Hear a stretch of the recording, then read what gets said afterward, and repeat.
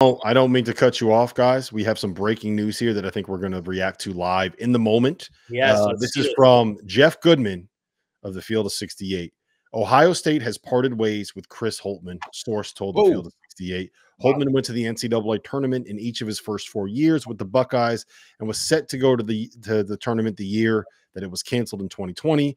Um, he went all three years at Butler and went to the Sweet 16. The last two years, the Buckeyes have taken a nosedive, and Gene Smith decided to make a move now. Um, real quick, I just before uh, I dive into it, last year they lost, I think it was 14 out of 15 at one point.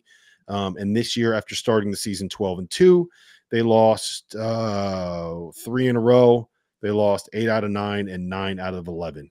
Um, and they get Purdue at home on Sunday. Uh, any reaction here, T.O.? Uh, the the people in uh, the people in uh, Columbus are not the most patient. That's for sure. I, I the thing is, is Holtmann can can. I, I, don't know why it didn't work. Quite frankly, it, I I was really high on the Chris Holtmann train. I'm still trying to figure out why. Um, you know, it's gone in the manner that it has. It's it's been perplexing, quite frankly. It, but we all know you you don't you go what is it? They're four and ten in conference. Not good. Not good. Mm-hmm. You're not going to be able to hold that up. Is there any game less intriguing this year than Ohio State Michigan basketball? no, not at all. Not at all.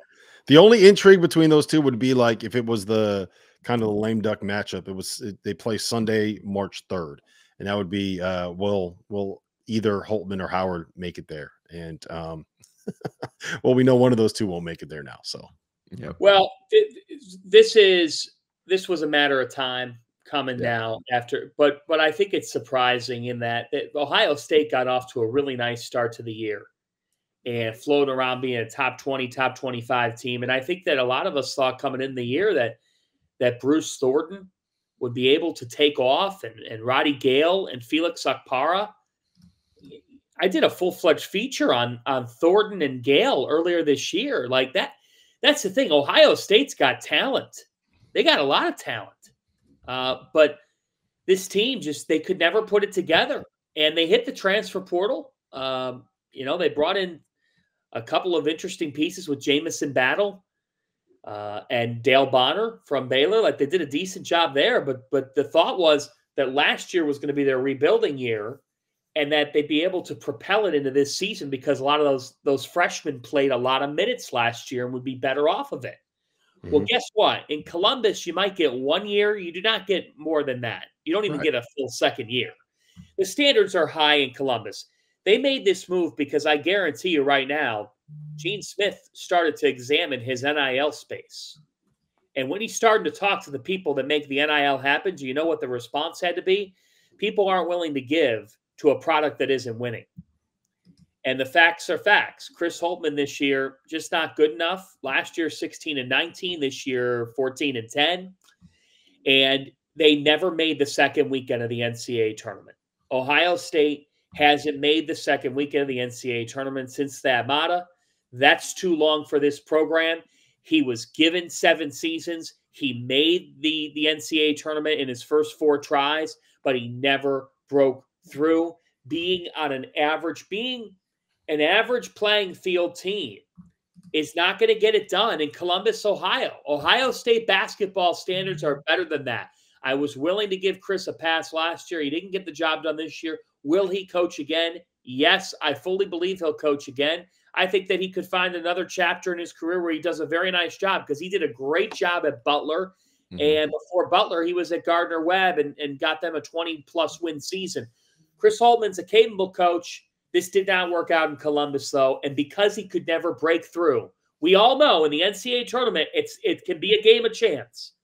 But he never could get the Buckeyes to the breakthrough. And unfortunately for him, those standards are too high for him to have kept the job past this year. They got it done today so that they can get that NIL reestablished and they can start their search today, which this is a really, really interesting coaching search happening in Columbus, there's going to be a deli line of candidates. I'm fascinated to see who they get. Mm-hmm. Um, we can talk about candidates in a minute. What I will say is, uh, I I do feel for Holt, who has always been, you know, very good to us and very good to the show.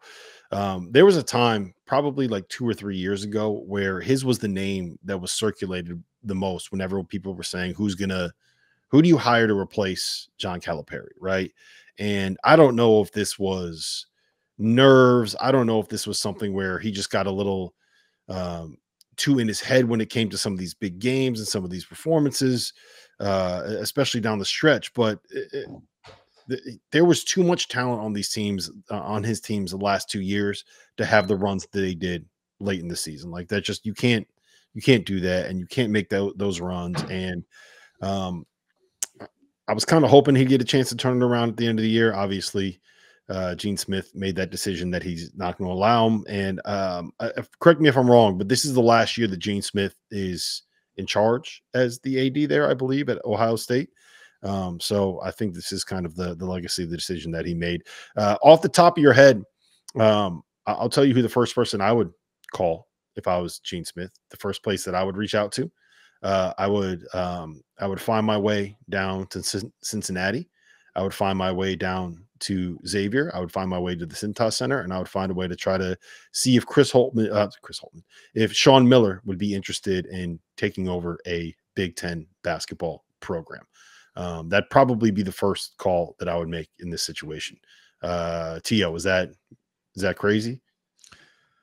No, he'd be in there. I think with a job like that, I think there's a couple of other names that I would consider, and I'm I'm looking through the uh, the Trilly Donovan list, and some of them make sense as guys that might move. I, I think Dusty May's a candidate, um, mm-hmm. obviously, and one that's mentioned um, that I'm I'm not completely against uh, Greg McDermott. Go down there, just see what's happening in Omaha, and if he wants a change of scenery, because that dude can coach. Uh, he's going to play a brand of basketball that you'll be able to sell in that state. And, and Ohio is a talent-rich state. I said Doug McDermott. I said Matt Greg McDermott. Excuse me. Mm-hmm. Uh, I had Doug McDermott the other day with the Pacers game.